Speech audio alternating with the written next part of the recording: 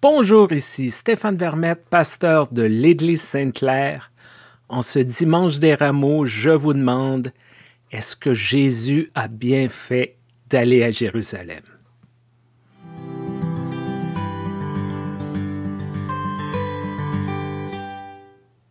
Pendant approximativement trois ans, Jésus a sillonné les villages de la Galilée pour y enseigner dans les synagogues, guérir les malades et proclamer la venue du royaume de Dieu.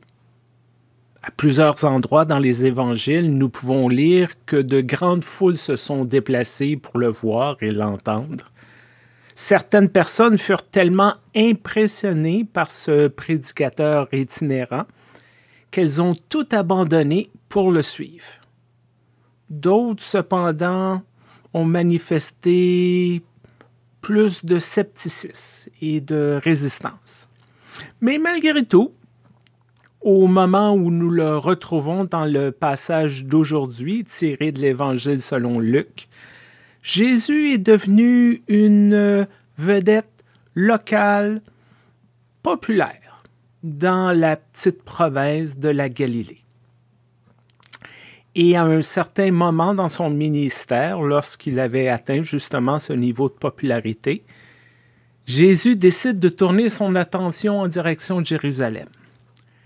Ses disciples ont sûrement dû se dire à ce moment, parfait, c'est exactement ce que nous avons besoin. Jérusalem, la grande ville.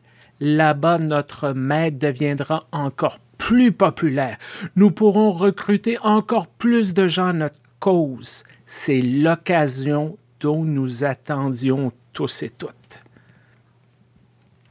Alors Jésus et ses disciples commencèrent à planifier minutieusement leur grande rentrée à Jérusalem.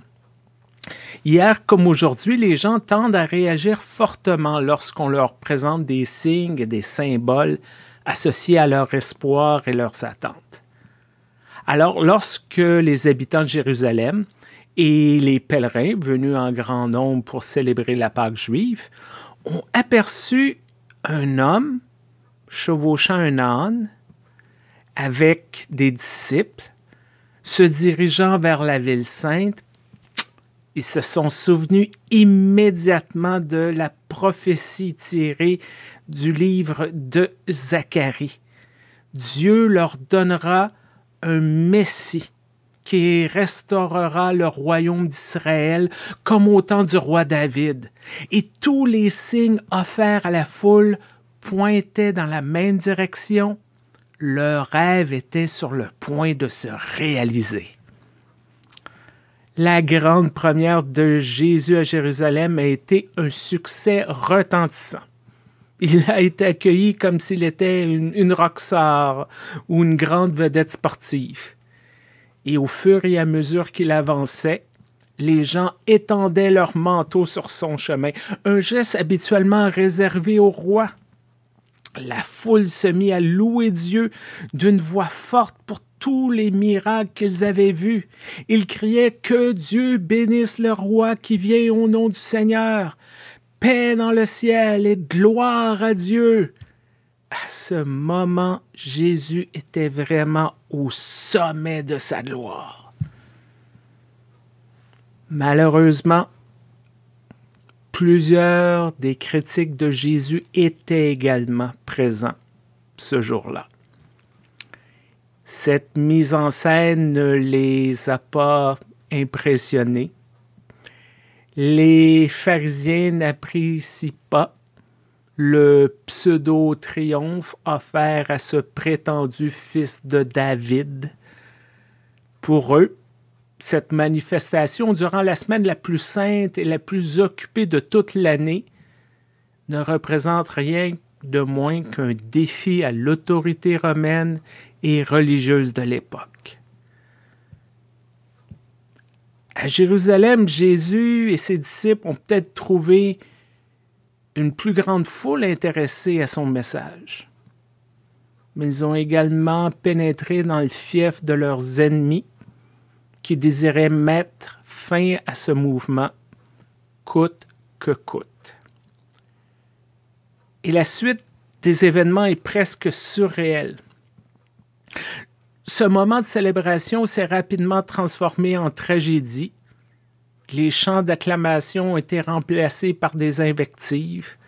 Les disciples qui, qui il n'y a pas si longtemps pour savoir lequel d'entre eux était le plus grand et le meilleur abandonnent leur maître. La même foule qui l'appuyait quelques jours plus tôt demandait maintenant la mort de celui qui vient au nom du Seigneur. L'entrée triomphale de Jésus a mené à son arrestation dans l'espace de quelques heures. Quelques heures. Il est interrogé, torturé, humilié et enfin exécuté publiquement. À la lumière la tournure de ces événements,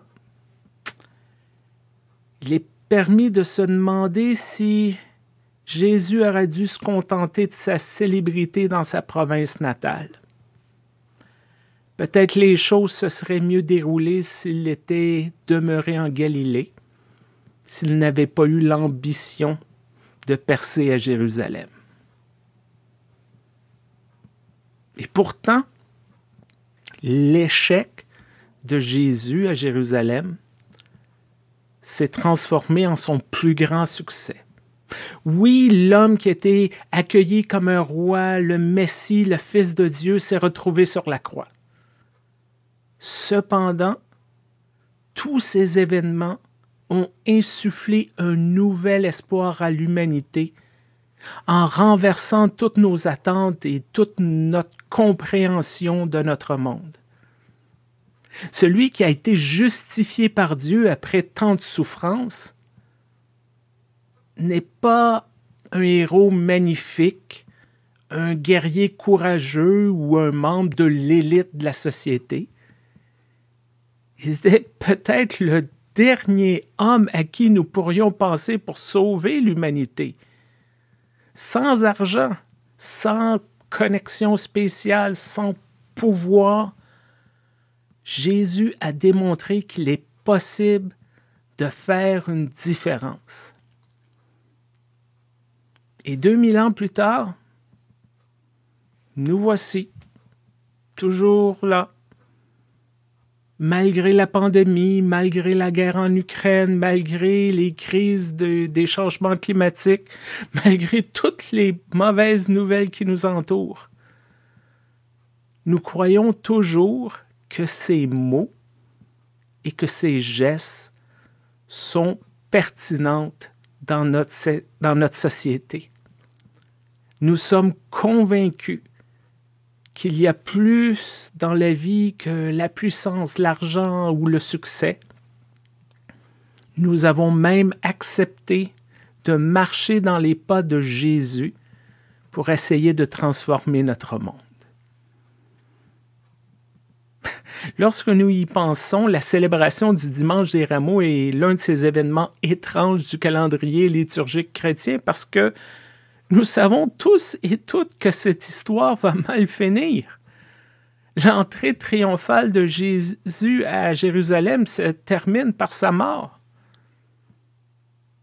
Et pourtant, nous aimons nous rappeler ce moment spécial parce qu'il nous invite à nous souvenir qu'un homme ordinaire, issu d'une province lointaine de l'Empire romain, a été capable de transformer ce qui ressemblait à une défaite en un mouvement qui a inspiré des milliards d'individus. En quittant la Galilée pour Jérusalem et en acceptant les conséquences de ce choix, Jésus a gagné son pari. Son message sera connu à travers le monde et les âges. Merci d'être là peu importe la plateforme sur laquelle vous écoutez, n'oubliez pas d'aimer, de partager, de laisser un commentaire. N'oubliez pas de soutenir financièrement notre ministère. Prenez soin de vous, demeurez en santé. Au revoir.